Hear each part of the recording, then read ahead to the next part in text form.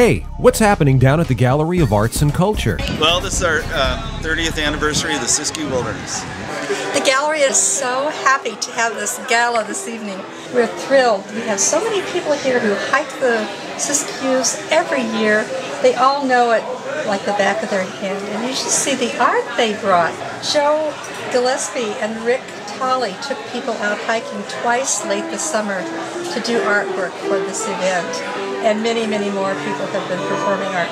So next year they're going to take people out on hikes just to enjoy the wilderness and to do some art so that next year our show will be even greater.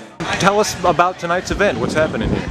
Well, this is our uh, 30th anniversary of the Siskiyou Wilderness. And uh, it was set aside in uh, 1984.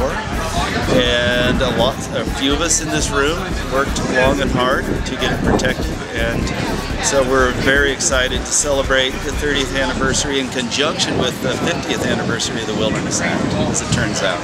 So um, it's an occasion to celebrate another part of Del Norte County that is just fantastic and often not noticed because it's back there. So tell me about uh, taking artists out. You, did you guide artists for uh, for plein air sessions up there? You know, it was uh, something I, I dreamed up and uh, coming up with some events to lead up to the art gala and uh, uh, some folks were excited about it, especially Rick Tolley from Arcata, and he's an amazing artist, and he's he helped me pull together a lot of people to, to get up there. We had a great time. It was so much fun.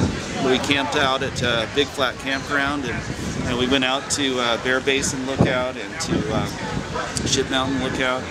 Uh, we hiked up to Dr. Rock, and uh, you'll see some paintings in there of Dr. Rock. Um, we also hiked up the Kelsey Trail, and just uh, everyone got immersed in the South Fork of the Smith River in Buck Creek, and um, there's some beautiful, beautiful works in there from those days. So uh, something that um, was so successful that Barbara Burke, um, the owner of the gallery, who is amazing in her own right to host this and her beautiful gallery.